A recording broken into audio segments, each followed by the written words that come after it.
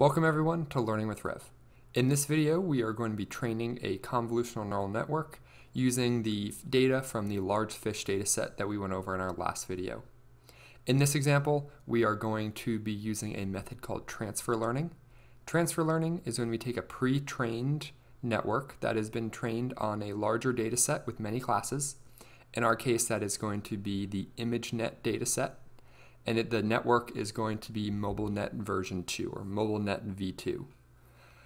This is a great way for beginners to learn how to train a neural network. You don't have to worry about building as many layers or figuring out the correct architecture. You can just grab this pre-trained model, slap on uh, some classification layers, compile, and fit it. So that's exactly what we're going to do today. To begin, we do need to do our imports uh, we are using TensorFlow, we're using an RTX 3060, and this is Visual Studio Code.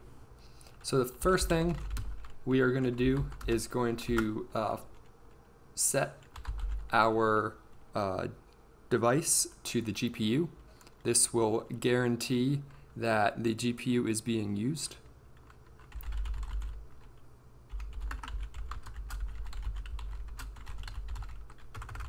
So this is important if uh, you have multiple uh, GPUs in your system and you want to make sure you use one, or uh, you want to uh, force it to use the, G the CPU instead. And I show you what all these mean in another video, which I will link above.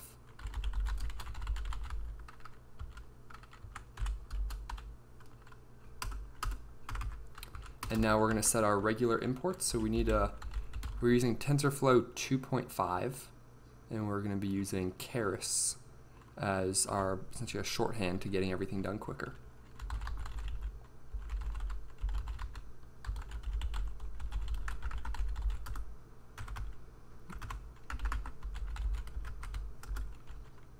Oh, not import, from. And then we are going to import uh, a TensorFlow or a Keras utility, which is our application MobileNet v2, and the pre-process input for it.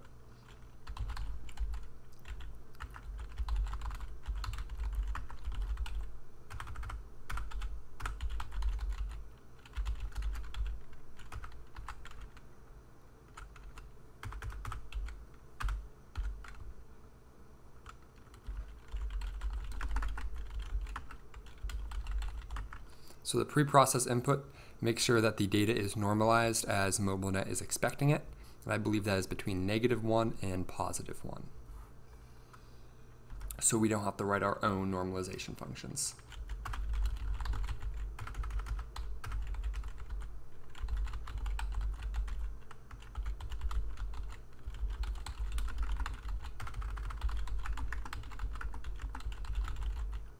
And then we're going to be using image data generator as our function to load our data in from the directories. And finally, we are going to be importing some layers from TensorFlow. Oh, that's strange.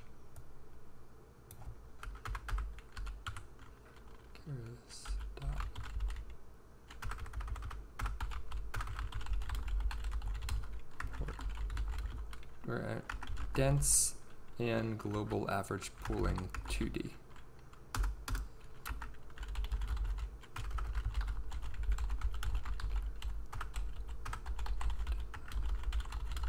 And we're going to import the Adam optimizer. Make sure we typed all this in correctly. Uh, let's see. Oh, why did it do that again? Perfect.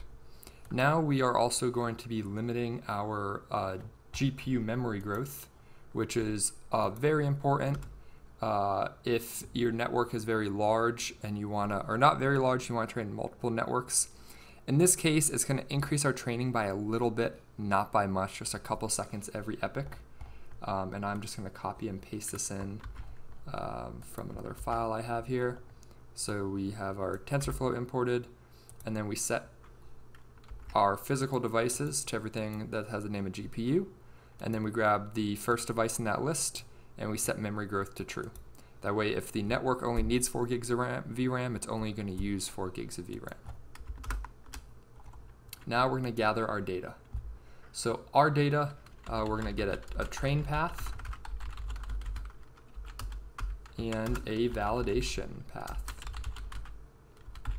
So our data set is saved on a on the drive here.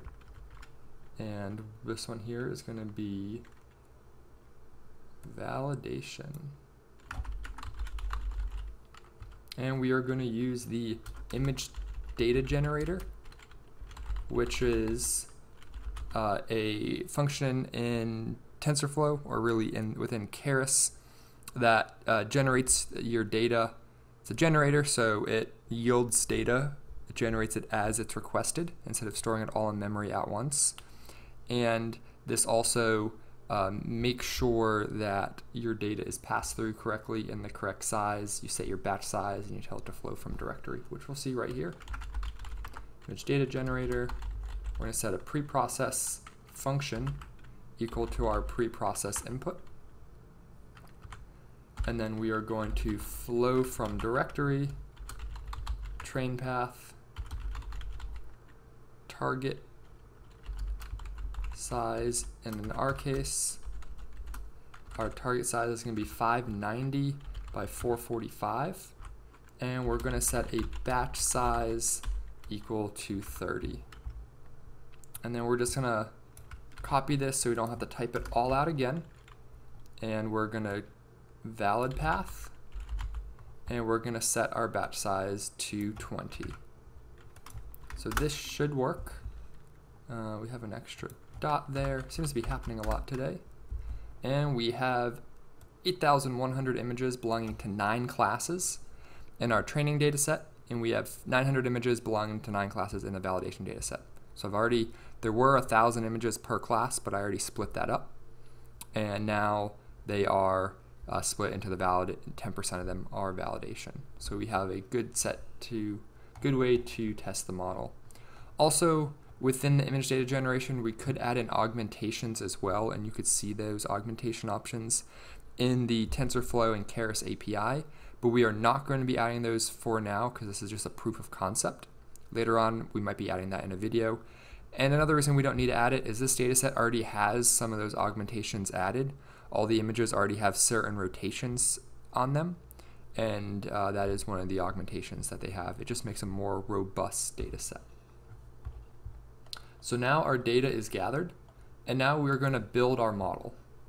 So we're going to create a variable called base model, and this is going to be MobileNet v2. We're going to set the weights equals to ImageNet, and we are going to include top equals false. So what this is doing is it is loading our pre-trained MobileNet with ImageNet weights, and it including top uh, is going to use the classification layer that they have if that's set to true. So however many classes are in ImageNet, I believe several thousand. But we're going to chop that off and set it to false. So now we have to add our own classification layers. So now we're going to set x equal to global average pooling 2D. And we are going to, ah, first we need to get our output from the pre-trained model x equals base model dot output. Um, so we are using the functional API here. I do have a previous video on that as well, where we take this model, we're taking the output of it, and then we're using uh, essentially the call function, uh, which doesn't have, you know, you don't see the words for it, but essentially we're calling global average pooling 2D, and we're passing in the previous layer. Next, we're going to add a dense layer we're going to make it 512 nodes. Activation equals relu and x. And then we're going to get a second one of these. Activation we'll set 256. And we're going to set another one, 128. These can be pretty much any values you want. But the last one we are going to set to 9 because this is our final classification layer. We are going to set uh, this to softmax So this is going to predict probabilities between 0 and 1 for every single one of these nine outputs. And finally, we are going to build our model by wrapping it in the model class. Model equals model uh, input inputs equal base model dot input and the outputs equals I'm going to call these predictions. So I'm going to change this name here, prints So if we hit enter here, it is giving us a warning that the input shape uh, 590 by 445 is not square, so they are going to just be using the default weights for 224 by 224. Um, these are the standard options for MobileNet V2. This to use the one closest to what we're asking for. Um, if we were, because of this, our pre-trained weights are not going to be as perfect as they could be if we were using that something that was 224 by 224. It'd be a lot better to start off, but that is not the case right now. The next thing we're going to do is we are going to, uh, I'm going to do a quick addition here, and we're going to do model.summary. So this is printing out all the layers that we have. We have our input layer, and then we have a convolutional layer, and then batch norm, and then depthwise convolutions, and a whole bunch of convolutional blocks, as we can see here. There are uh, 16 convolutional blocks within the uh, MobileNet V2, and on the outset here, we do have a global average pooling. This is the layer we added to it. Then we have our dense layers. And right now, almost all the layers are trainable. The ones that are not trainable are batch norm, and I believe uh, that is it. So batch norm layers are not trainable. There's nothing that you're training, you're just normalizing the data. Um, so what we want to do is we don't want to train the entire network again. That will take away from the idea of using a pre-trained model. It will help some, but not as effective.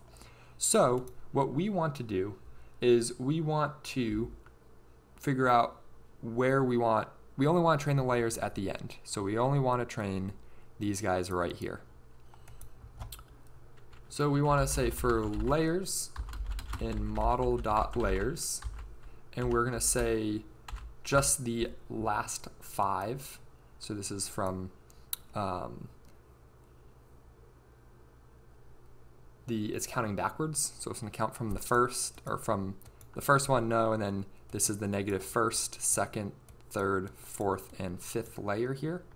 So we're going to grab, or everything but those, my fault. So we're going to go through all the layers except the last five. So all the way from the top here, from our input layer, all the way down to that negative fifth layer. So one, two, three, four, five. So everything up to this point we are going to loop through all those layers and we are going to set layer dot layers dot trainable equal to false. And after this, we are going to add another model.summary. And everything looks exactly the same, but the one difference is we only have 8,200 trainable parameters and we have over 2 million non-trainable parameters. This will also speed up the network training because the backpropagation will not feed through all these layers and change the weights of those layers. So finally here, we have our model built. Now we just have to compile it and train on it. So we're going to set a batch size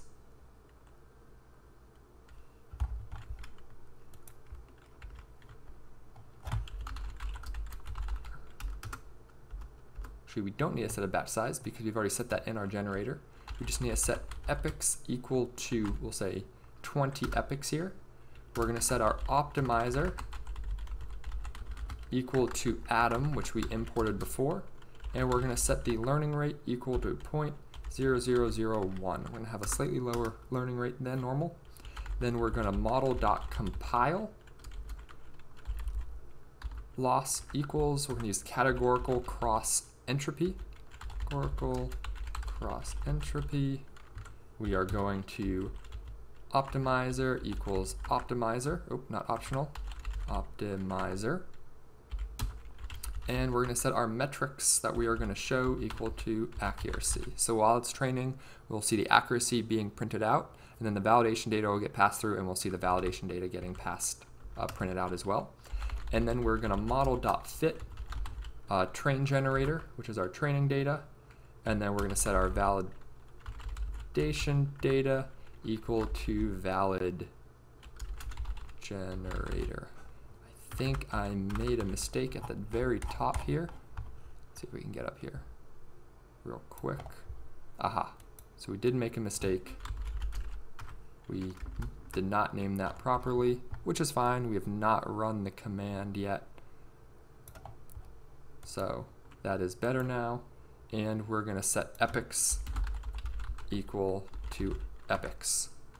And now we're going to run this. Oh, let's see. We have a mistake. optimize optimizer. There we go. And uh, we have another error. I spelled categorical cross entropy wrong. This is what happens when I try to write everything properly. Nice and slow for everyone to follow. This is normal when you're training a network. You might spell something wrong, but it's good to just know what these errors could be. So now we are training. I am going to fast forward some once this gets going. Um, it is saying it's going to take about a mm, about two minutes per epoch, and I'll come back after a few epochs and see how accurate we are.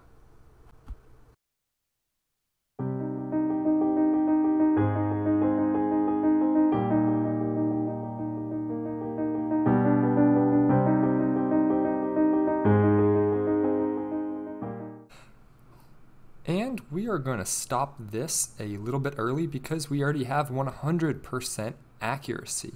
Only after four epochs or so, uh, as we can see, our uh, average uh, time was about a hundred seconds per epoch. Uh, the first one was a bit longer because that was the first time loading in the data from disk through the generator, uh, and accuracy Validation accuracy was 99.67%. Uh, and then after that, it was 100%. So that just proves we don't need to do that much training. And we do have a fully trained network. Now that was very quick, just a few minutes. Just a quick review here. Uh, I'm going to uh, collapse these just so we don't have to scroll. Uh, can I do that? Let's see collapse a lot, but There we go. I know you could do this in uh, Jupyter really good. Collapse cell output. Perfect. Now I don't have to scroll as much. So in this tutorial, we loaded data from our fish data set. We built a model uh, using transfer learning, uh, training from this MobileNet v2. Then we froze all the layers except the last two layers. And then we compiled and fit that model and after just two epochs, we had 100% accuracy on the validation accuracy. That is amazing. So I want to thank you all for watching. I hope you learned something today. If you like this video, please give it a thumbs up and share it. If you have any questions, please leave it in the comment section below. Thank you all for watching, and I'll see you next time.